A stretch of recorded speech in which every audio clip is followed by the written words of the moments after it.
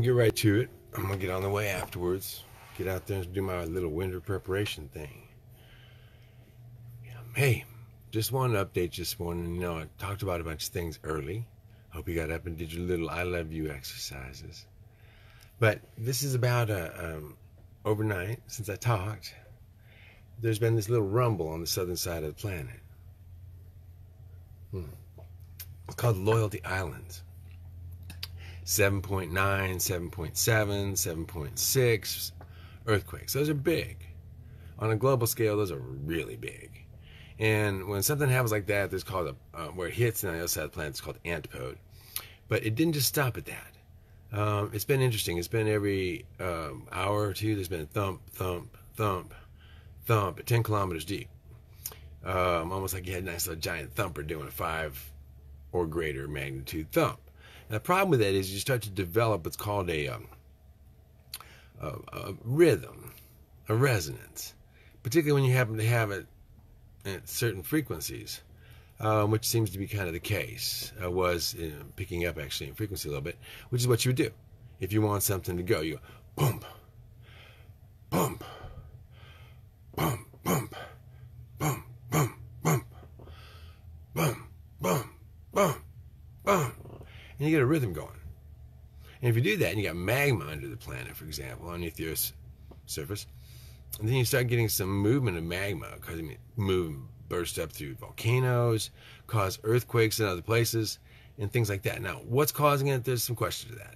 But if you haven't been looking at, there's some really cool um, animations that show the pressure on the Earth's shields on the front side, and both, which is surprising, on the back side, which normally we don't have the kind of serious wind speeds and pressure on the backside of the planet where our shields have to kick in. Go, hey Scotty, what's on our ass? Say, I don't know, Captain Kirk. I'll let you know in a heartbeat here. Let's see. Turn the cameras around. What's behind us? That's kicking our butt. Something's going on. When you get 600 mile or 600 kilometer per second winds going away from you faster than they hit you at the front end as you're going through space. When we go through space, that's kind of a negative speed. We're going into space. If you measure it from where we're coming at, we're coming at, say, minus 600 kilometers per second, or something like that. The wind speed um, is also a factor, what the sun's putting off at us. But we're traveling through the universe at a certain speed. So there's a constant. What's happening is all of a sudden we're seeming to feeling something. Something's causing us to go pulsing. Um, there's a lot of unusual things happening on the planet at the moment. So what I'm, I'm just saying, hey, if you don't know about these things, go to Earthquakes Live online. You can see that. You go to Windy Live and see all sorts of wind and what's in this, what's in the wind, particulate matter. You can go on um, all these good sites and use this um, internet for something other than just distraction, totally distraction. I say distraction that this gives you some idea there might be something going on. I mean, who knew there was going to be earthquakes all through Texas and Oklahoma in the last couple of days? We don't normally see a lot of earthquakes in Texas, but particularly 30 miles away from my house.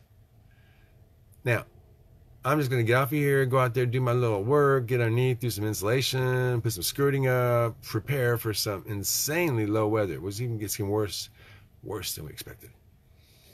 Hey, Shannon, glad you're there, dude. my loyalty's not being shaken. I know exactly what's going on. All this is, you know, I didn't go digging all these holes and building tiny houses and doing all this stuff just because I felt like it'd be profitable. No I did it because I firmly believe that what we're about to see is happening was going to happen a long time ago. Yep, taco soup. Good, good. I'm on my way to Mary, and all y'all have good lunch. I got to get some work done, put some gloves on, and uh, go out there and crawl under some things, crawl around some things. I mean, a lot of work, and there's only a few of us here to do it. So, y'all have a good day. Enjoy the cold. Stay warm. Remember, if you didn't watch my video about being careful, don't let the heat kill you. And when it's cold outside, you know I'm talking about the heat inside. So please pay attention to these things. And when it gets all done, let's get together and have a little chat. Well, actually, you're going to be in the house for eight, ten days. I'll have a chat between now and then. Um, yeah, wouldn't that be a race? See, the human race is actually about to be exactly that bottlenecked. And technological people, you know what? You can't do a whole lot if you can't get in your car and get over there to the hard drives and, and those big, massive installations that might go down with nobody able to get to them. And those darn viruses. So, yeah, spring is coming. But after a hard, cold winter, and spring may not arrive everywhere. Yeah. It can stay cold. In fact, I want to make a bet. That's a bet. Not, not a legal bet that I can get in trouble with. I don't want anybody coming and say, oh my God, he's gambling. I gambled nearly all my life. That's what entrepreneurial success is. You gamble everything you got. Because that's what it takes. Losers, they drop out all the time because they might lose everything they got. Winners, that's just part of the game. Can't take it with you. So roll the dice, you roll the dice good. So I'm about to bet something. Obviously, I'm betting my reputation and my future, which is easy to do if you're a figment of somebody's imagination. What do you got to lose? Oh, they unfollowed me. Oh, I disappeared out of their world. Oh, you know what's cool is there's statistics that check on how many people come back after they unfollow. Kind of interesting.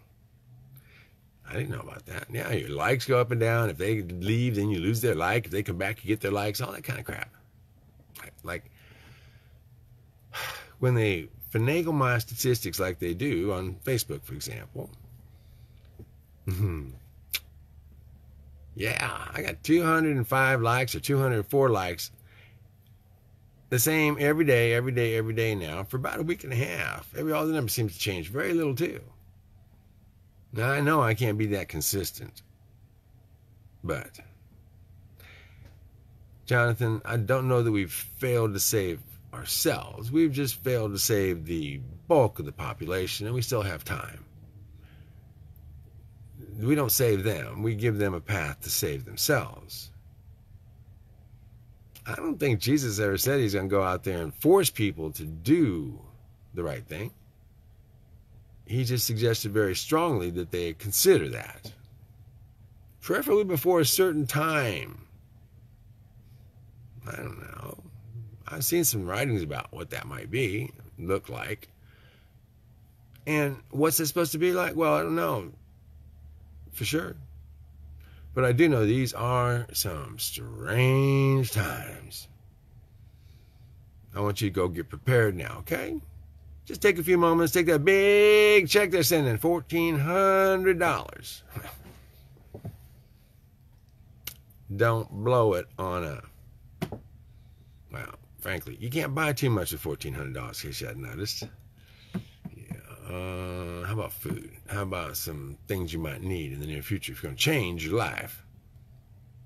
And while you're at it, why don't you liquidate a bunch of stuff so people will get that $1,400 check and don't know what to do, and they'll come out there and buy your crap and give you a decent price for it. Maybe it's your stock. They're about to have a problem with that, I think.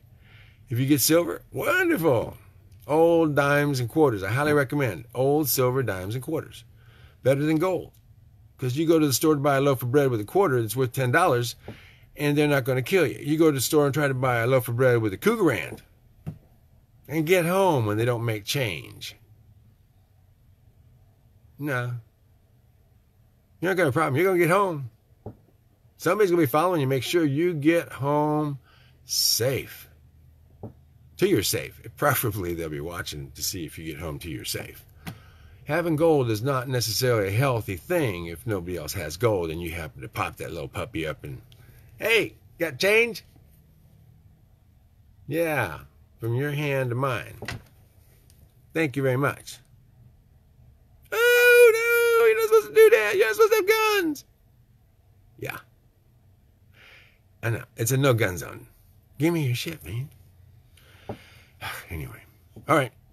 I'm going to have to get going because, you know, I mean, I'm writing this story, and none of this is real. All this is fiction. No reason to censor here, guys. Yeah, you just use your little censor someplace else. Thank you. Y'all have a good day. Get going. $1,400 worth of organic honey. Wow, that's a lot of honey, honey. See you later.